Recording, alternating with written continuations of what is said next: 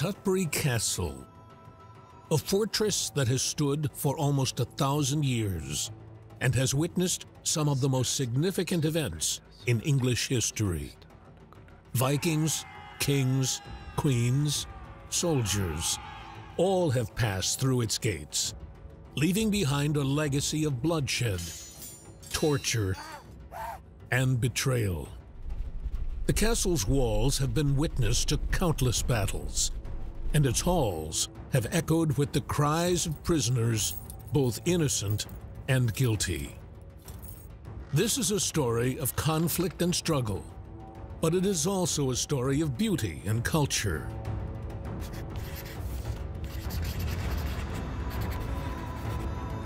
Through the stories of its inhabitants, the true power of this fortress can be uncovered.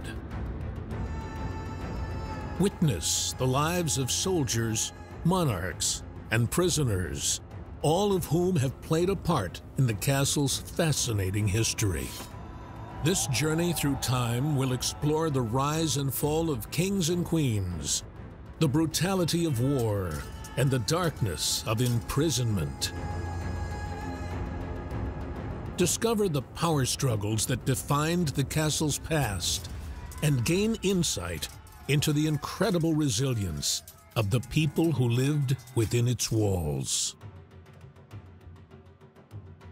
This is Forged in Blood, Tutbury Castle.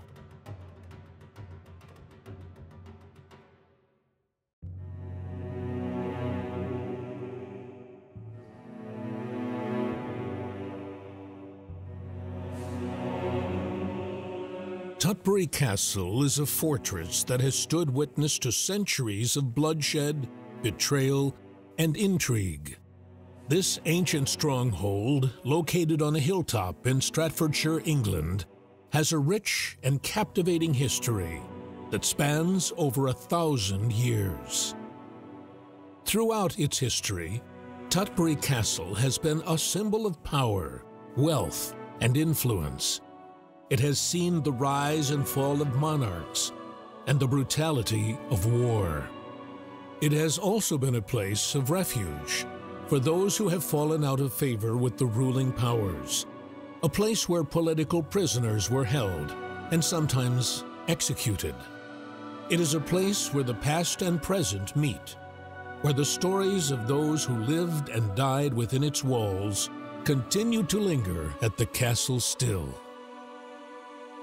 In exploring the history of Tutbury Castle, we are drawn into a world of medieval battles and political intrigue, where the fate of nations hangs in the balance. It is a world of chivalry and courage, but also of violence and betrayal.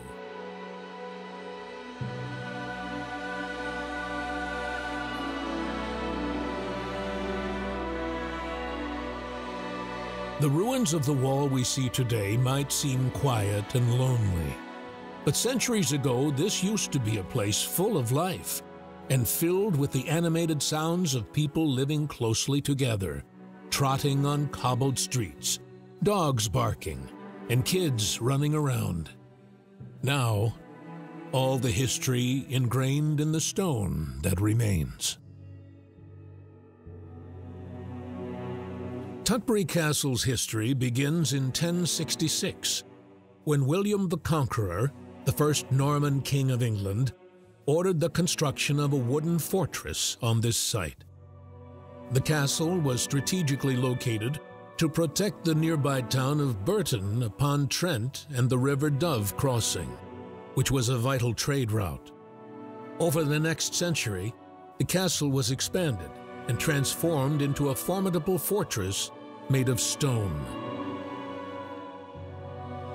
In the year 1071, England was a land of contrasts and contradictions. On the one hand, it was a nation that was still struggling to recover from the Norman conquest of 1066, with many parts of the country still in turmoil and many people still struggling to come to terms with the new order. At the same time, however, England was a country that was undergoing a period of intense change and development.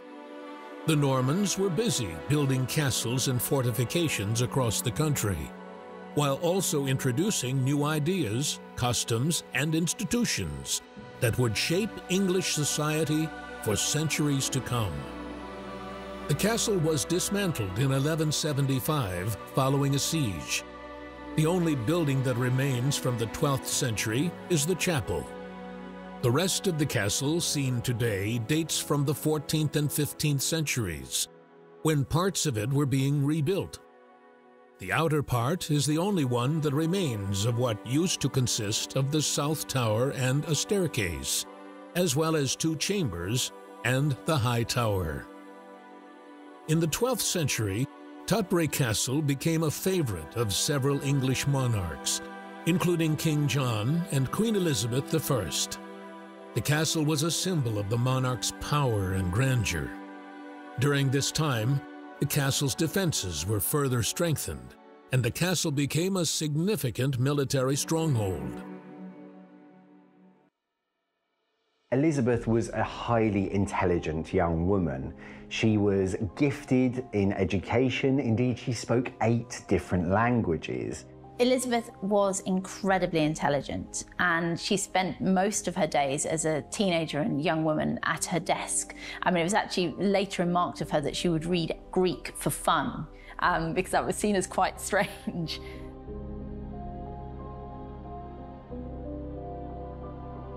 Elizabeth also learnt, I think, a great deal through her childhood and adolescence about the politics at court. She learned how to bend, she learned how to stand her ground too. Really was a gifted individual.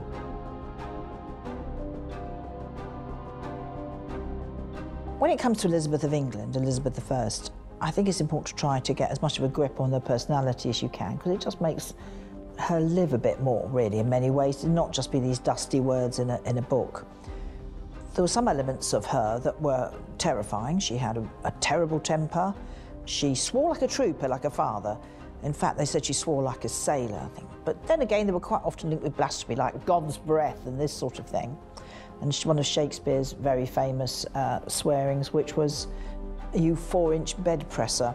Now, I don't know if Elizabeth said that, but that's the kind of thing that was said there. They tend to be a bit more flowery uh, than we say now. But she had a vile temper, and she was under extreme tension.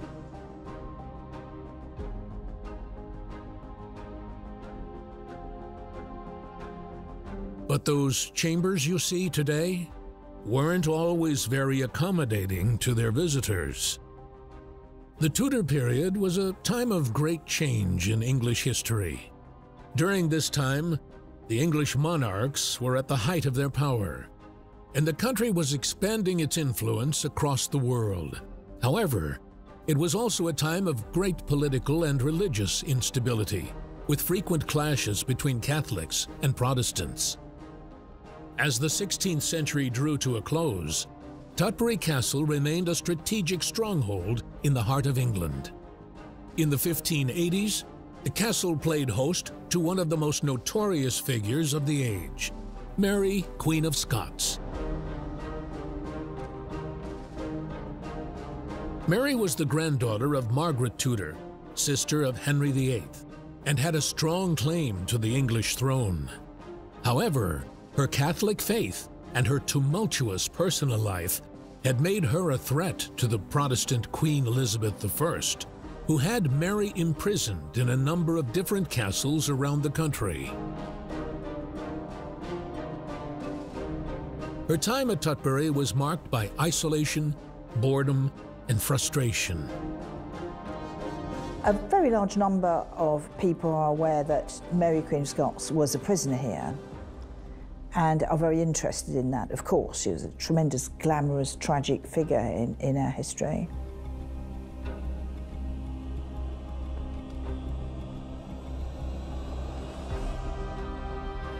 Mary Queen of Scots is undoubtedly Elizabeth's rival. They are two parallel queens, two queens in one isle. Mary was born in 1542, and when she was six days old, she became reigning Queen of Scotland. She's the Queen of Scots from birth almost. She had a very troubled upbringing before being sent to France, where she was engaged to the French Dauphin, the heir to the French throne. She becomes Queen of France very briefly, but then when her husband dies, she returns to Scotland as an independent ruler.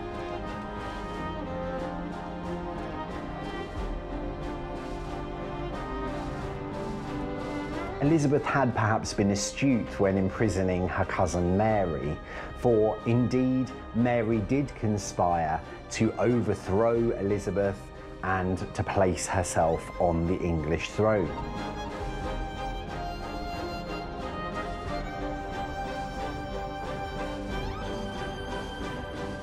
and indeed that the castle was owned by Elizabeth I, going and in fact going right the way back to 1199, the castle had been owned uh, by the monarch, and still is, I should say.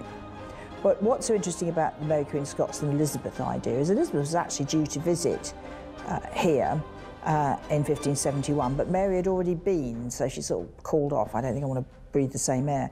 Mary was prisoner here for the very first time on the 2nd of February 1569. Before that time, having escaped from Scotland, uh, Mary Stuart had been in Carlisle, where she crossed over, you know, in a boat and was there for a while. Then she travelled down to England, and all that time she was under housekeep. Uh, do you like politicians? It's a euphemism for, well, we're just going to see if we can get away with this because Elizabeth was taking the pulse of every royal house of Europe with her ambassadors, and the quotes were, We have the Scotch Queen. Do you want her? But apparently not. So when Mary came here on the 2nd of February 1569, she was told, and this castle was absolutely vast and full of streets and crowded, and horses moving around, all these things going on. She was told she was now a prisoner. And of course, she was being questioned about the death of her second husband, Darnley, who was a really horrible man, actually. That doesn't mean he's entitled to be murdered or entitled to murder him, rather. But what it does mean is that uh, she had some answering to do because he was very, very close to the English throne in succession. And he was, no doubt about it, murdered. Many people believe she was colluded with her third husband, Bothwell. So when she came here, she had two dead husbands, second murdered. First husband, Francois, France, the Dauphin, died young at 17 years of age.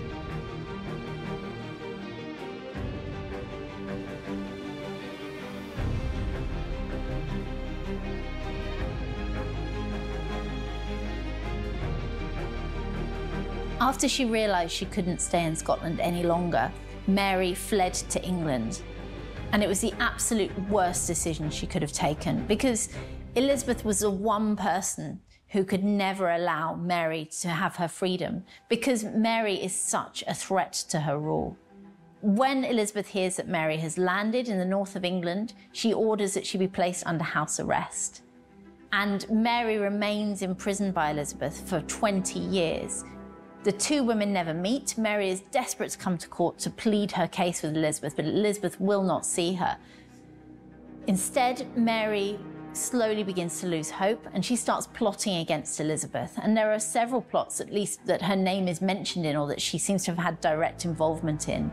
Lastly, of course, she is involved in the Babington plot, where she gives her consent to murder Elizabeth. And in many respects, this is a really sensible policy for Mary, because actually, were Elizabeth to die at any point during Mary's imprisonment, it's really likely that Mary would be declared Queen of England. She knows that there's just one heartbeat between her and the English succession.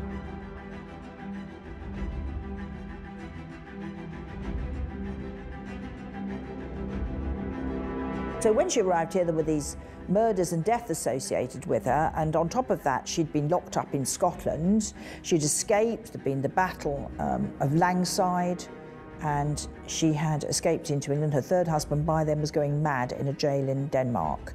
He was chained to a concrete post going round and round like a dog.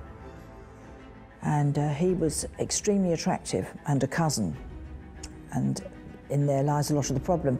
So there's that. She'd left behind her son James, who she'd signed over to for the regency of her bastard half brother Moray. Uh, he'd been after it for a long time, and she'd lost her son, her kingdom, and her dignity. because at this point she is being shown on leaflets as a crowned mermaid, which is a prostitute, and the running hare at the bottom, which is the symbol of Bothwell.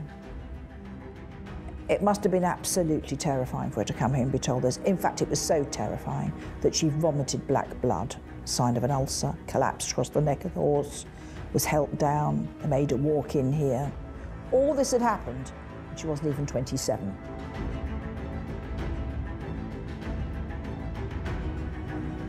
During her first stay, Mary was allowed a certain amount of freedom and was even permitted to hold court in the castle's great hall.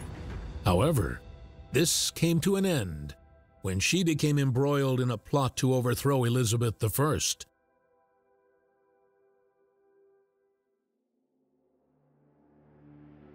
Mary is undoubtedly the biggest threat to Elizabeth, and this is because of her place in the English succession.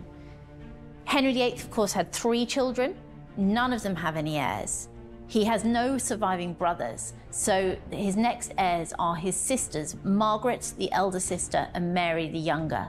Margaret, the elder sister, marries James IV of Scots, and she has two surviving children. Margaret, the elder sister, is the grandmother of Mary, Queen of Scots, so Mary is effectively her heir. She is the next hereditary heir to the throne. And this really matters to Elizabeth because Elizabeth is still legally illegitimate, so legally she has no title to the throne other than by Act of Parliament and by her father's will. When Mary Tudor, Mary I, dies, Mary Queen of Scots actually declares herself Queen of England because, by the laws of hereditary, she is next heir to the throne. Although she later abandons those claims, Elizabeth, of course, is well aware of Mary's position in succession, and she is incredibly dangerous to Elizabeth's rule.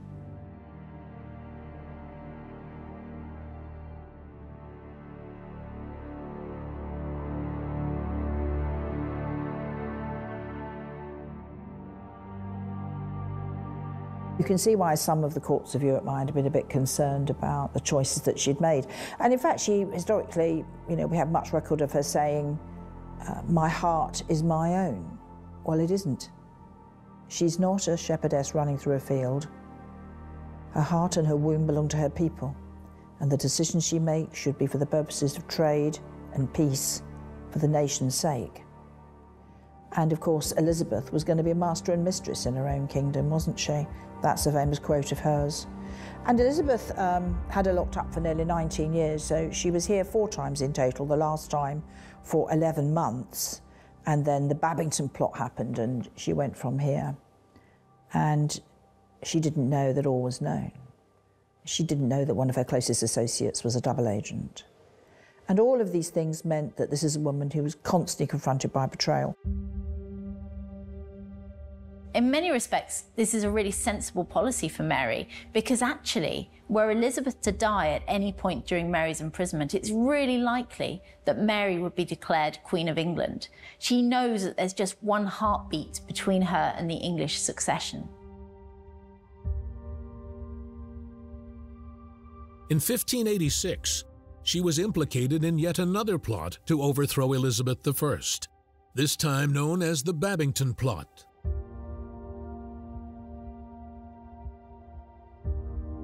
It had been proved without doubt that Mary had consented to murder Elizabeth. Elizabeth knew that Mary wanted her dead. She agrees that Mary should be tried, and of course, she's tried for treason. And actually, a treason trial against Mary is, is quite difficult constitutionally because actually she's a foreign ruler. Can she be tried for treason?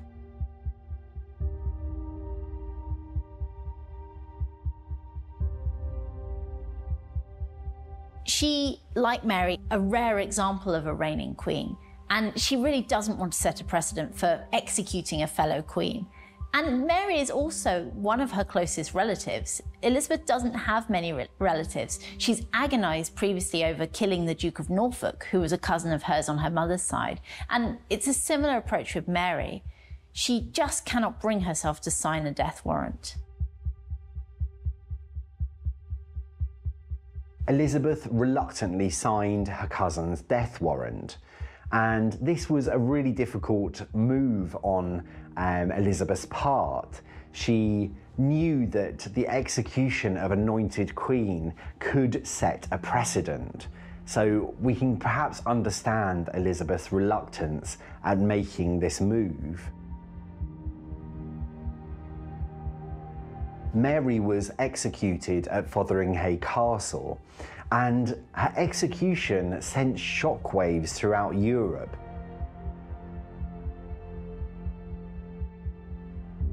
Even Elizabeth, well, not even, definitely Elizabeth felt great guilt about this, you know. She didn't want to kill her. She didn't want to kill her. She wanted her dead. That's not at all the same thing. Being prisoner nearly 19 years when you've been exquisitely beautiful and Queen of France and Queen of Scotland.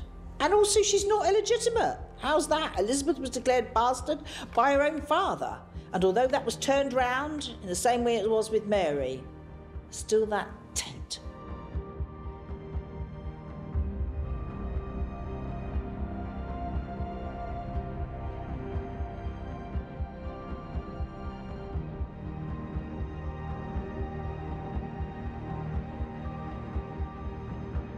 In 1263, civil war broke out in England. The then Earl of Derby supported Simon de Montfort in the Barons' revolt against Henry III. The rebels were defeated in 1265 and their possessions confiscated. Henry III gave Tutbury Castle to his son Edmund, whom he created Earl of Lancaster in 1267. The castle has remained in the hands of the Earls and Dukes of Lancaster ever since. The castle's peak came under the Lancastrian kings from Henry IV to Henry VI, and most of the surviving structures date from this time.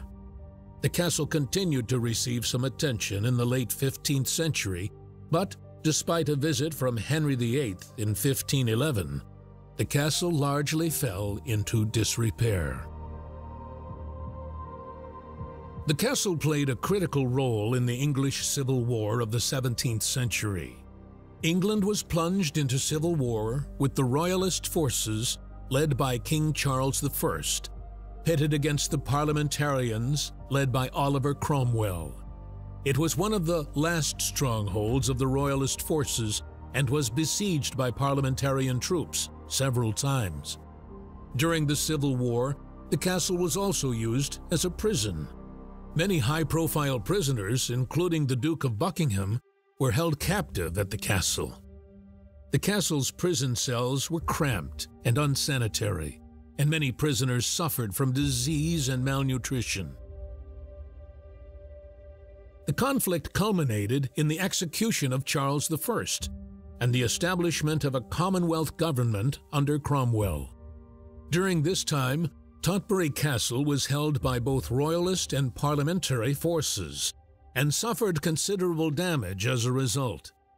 In 1643, the castle was captured by parliamentarians who then destroyed much of the castle and left it in ruins.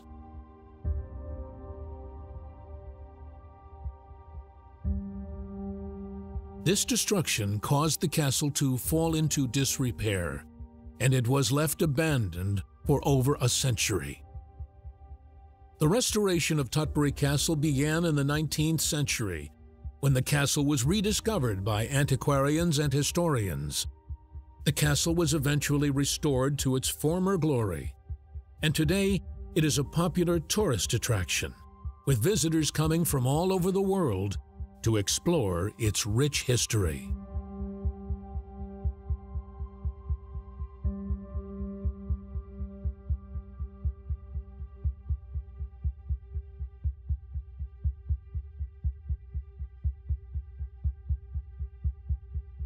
Nowadays, Tutbury Castle comprises several distinct areas that offer visitors a glimpse into the castle's long and varied history. The oldest part of the castle is the Norman Keep, which dates back to the 11th century. This tower is one of the best preserved in the country and offers stunning views over the surrounding countryside. The castle also features the 14th century Great Hall, which was once a center of power and politics in the region. Visitors can explore the hall's many features, including its impressive fireplace. Other notable areas of the castle include the Tudor lodgings, where Mary, Queen of Scots, was held during her first stay, and the Gregorian Gardens, which were added in the 18th century. These gardens offer a peaceful pause from the castle's tumultuous history.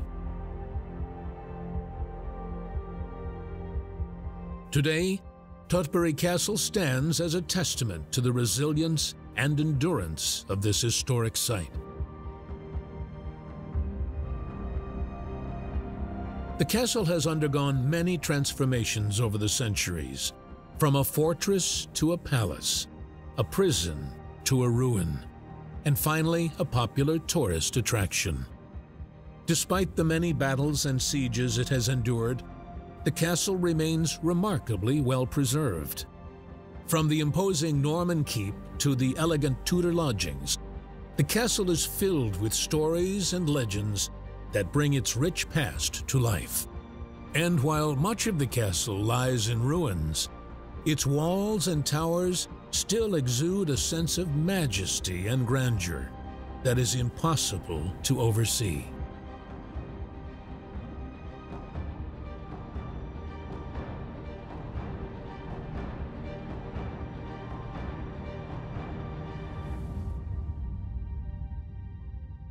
In the present day, lots of events are being hosted at Tutbury. From weddings to funerals, it can now be rented as a venue for any occasion. The curators also host events of historical reenactment, where some of the castle's history is brought back to life through realistic costumes and performances.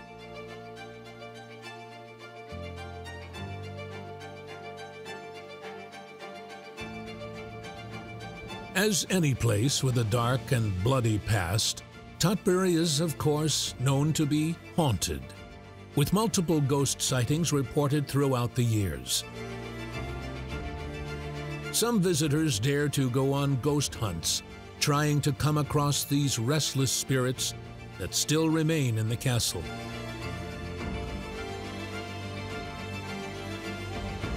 One of the most famous ghosts associated with the castle is the White Lady.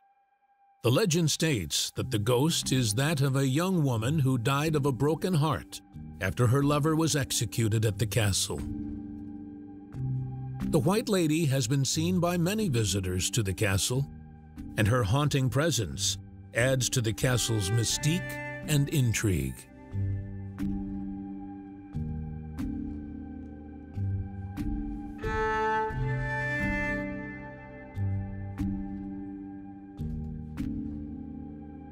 Tutbury Castle's pretty famous in the ghost world, people interested in paranormal investigation. And that's because it's got a very long history of ghosts that have been talked about for a long, long time. I mean, and ghosts have been part of our culture for a long, long time. I mean, Shakespeare writes about it in Hamlet.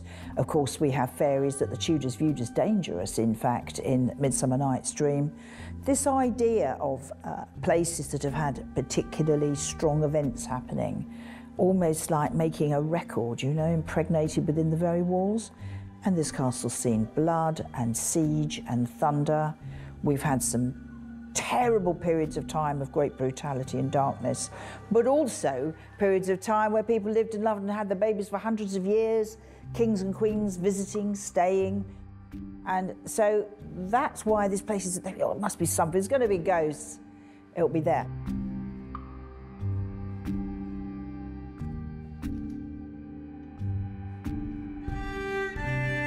We were able to prove with the dig, uh, with the British Museum and, and Birmingham University, that in fact Romans were here. Uh, we know the Vikings came past, I mean, not just in a few ships with a dragon's head, hundreds of ships on the way through to Repton. So, this endless kind of idea of humanity being on this green table on top of a hill. And the reason it's very important is because we've got two Roman roads near here. Now, that gives you access to moving your war engines, your goods, people. These, most of us were in a rural community, even in the Tudor period. I mean, yes. And so, consequently, a chance to move things around and trade. That's why rivers are equally as important. And we have both here, so it's a very important central spot. And about four miles down the road is a place where it's the furthest from anywhere else in England from the sea. So we're pretty far away as well.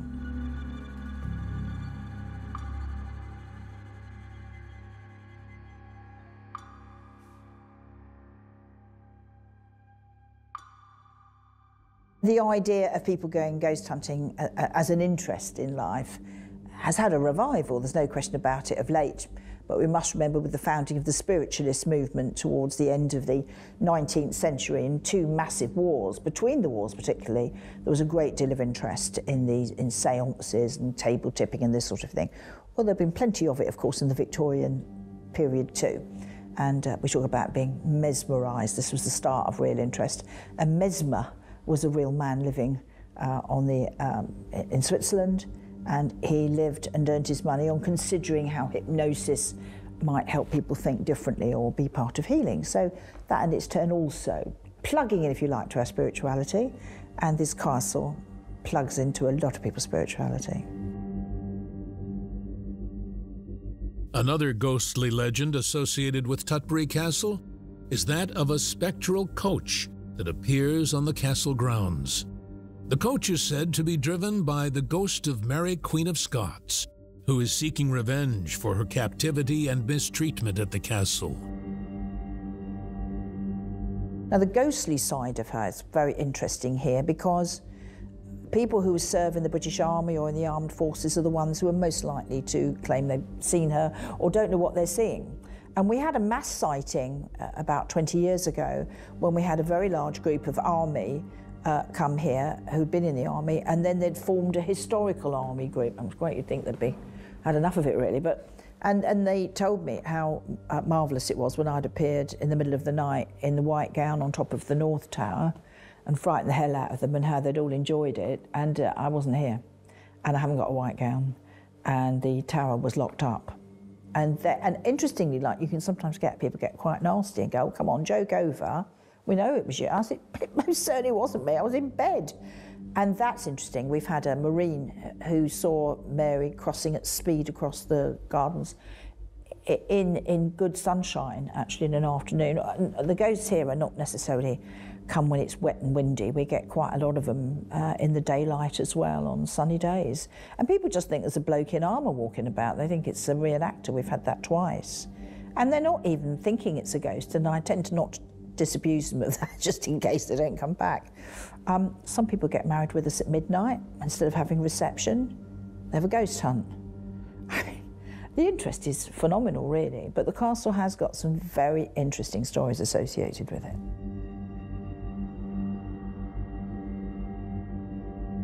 The most predominant sighting or feeling that people have here, and very often nothing to do with a ghost hunt, you know, just in an afternoon, was after the staircase in this room of the Great Hall was found, which was in January 2000, on the 27th of January. I'd had an airing cupboard removed uh, in the lower floor and the back wall caved in and there were the stairs. I mean, it was remarkable. They're not very old, they're about 1770s, but compared with the wall behind me and the stairs that feed from this room, where one of the walls is about 1360, and, and yeah, that's what we consider pretty old here. So we don't know why they were filled in, we don't know anything about it. All I can say is that they were. We opened them up. Uh, by the way, there was no echo now. Some people listening to this will say, why couldn't you hear an echo? But there was a double layer of wood on the floor and it was very tightly sealed, as was the airing cupboard. So consequently, you couldn't tell. And at the back, you couldn't, it was just a wall. So it opened up, and then we started. And certainly, I had a very long coat pulled out one day from me out here when I was on my own here. Um, but I was quite near where you're sitting, uh, or rather, you at home can see me, it's directly opposite me, is, is where this happened. And my coat was pulled out, and I thought, oh, I've caught it on a nail with a cotton. You apply logic straight away, you think that's what's happening. And walked across the room, and then my coat went out again elsewhere. But I mean, not a bit. I mean, it went out. So I thought, well, I must be off. And I went and got my handbag, and I set off downstairs. And I remember vividly, it's very interesting, saying, don't let them see you're frightened. We're taught not to be a victim to the living when we walk particularly women, are taught. So I'm going down the stairs with my handbag and I could hear the stairs moving behind me. And when I got to the front door, horror upon horror, I had locked myself in. So I then had to scramble in my handbag, which is the bag of Narnia. But eventually I found the keys, got out, locked up, and just laughed. And I thought, I'm exhausted. I'm just exhausted. Like, or if you get flu, you know, your bed cover can look like it's moving. I thought that's what's happened. I mean, I'm just, because I was doing 60 to 80 hours a week commonly, and I was completely alone, however. So as I drove off, um, there's a thick mist gathering here at the castle. Now we get that naturally sometimes because we have the River Dove just below, 150 foot up, and in certain weather conditions, the mist can kind of blow up and lays. It's wonderful. You kick it about. Um, so I still think that a very large number of the things that happen here are natural through the weather or shift in the building. One day we had things flying off the uh, gift shop in the day, and I got people to go and stand outside because I didn't know what was happening. And actually, it was an earthquake, believe it or not, that struck one side of the building, um, and it had affected it substantially.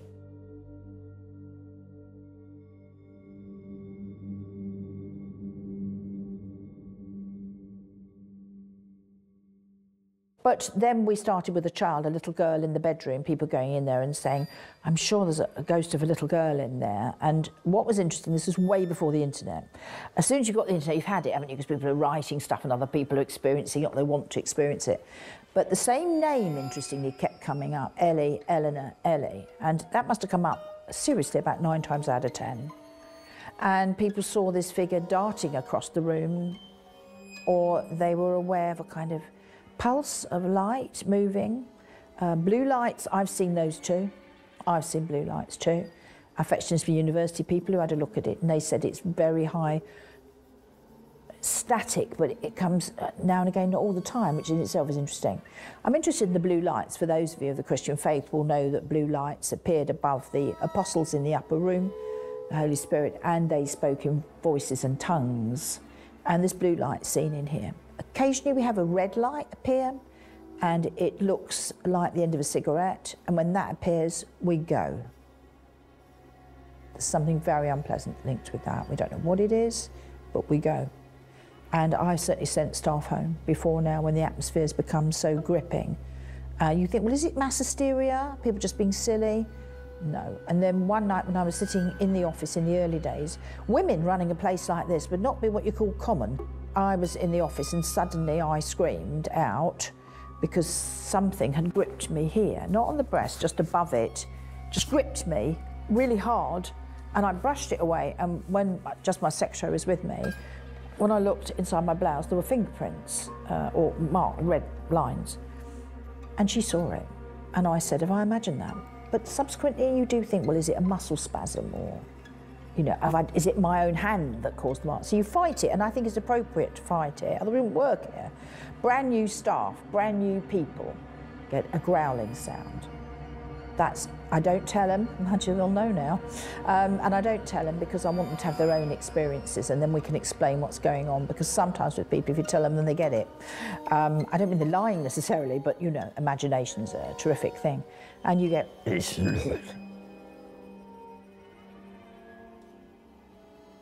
What was that?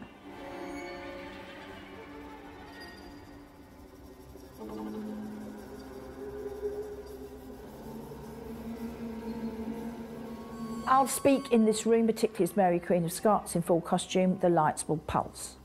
But only on one side of the room sometimes. But they're on the same connection, it's not separate. It's not a separate system. And all of this constant arrangement of uh, it, it's almost like there are certain times of the year when it's very, very much more active. It's like when the big battles are. You see, in August we get terribly busy. Just before Christmas we get terribly busy. When I say busy, I mean ghosts. But this little girl, has a tremendous number of people have experienced her. And then I get people to put the hand out. Now, I do get people to turn the lights out in there, not to frighten them, but because when you are in the dark, your other senses become very much more active. So it enables smell or touch or awareness of somebody near because the body's on alert, if you like. And I would like to say at this point, no, we don't set things up here. If we did, what's the point? So we've had, we've had dowsers here, and we had a lot that were linked with Derby University just before we did a massive dig, and they claimed that there is remains in an S shape of a child or a small person in the wall without knowing the story about Ellie. So this figure darting about is seen. When I've been Mary Queen Scots as well, it's like something's come and looked at me. You get that sensation because the dress is extremely accurate, the gown that I wear. And there is some footage of me talking as Mary, and you see a white light seem to come out of me and around, dancing around, and then goes into the back of the fireplace beside me. Well, the reason that's interesting is because we, after that was filmed, looked in the back of the fireplace because quite clearly it's too shallow, forgot completely about this footage of this white light, and sure enough, where it went in, there's a space at the back, it's always telling us. And it's lined with cream stones, about that big, and we didn't know it was there.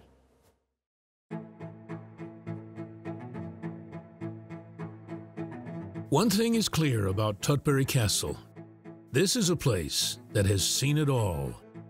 From the Vikings to the Normans, from kings and queens to soldiers and rebels, from bloodshed and torture to betrayal and imprisonment. The walls of Tutbury Castle have witnessed some of the most dramatic and tumultuous events in English history. And yet, Despite all of the violence and tragedy that has taken place within its walls, Tutbury Castle remains a place of beauty and wonder. Its ruins stand as a testament to the resilience of the human spirit and to the enduring power of captivating history. Today, visitors to Tutbury Castle can wander its winding passages and explore its ancient chambers marveling at the architecture and imagining the lives of those who once lived and died here. Dare to stand in the footsteps of the great monarchs and rebels and feel the weight of history on your shoulders. Remember the bloody stories that these walls hold.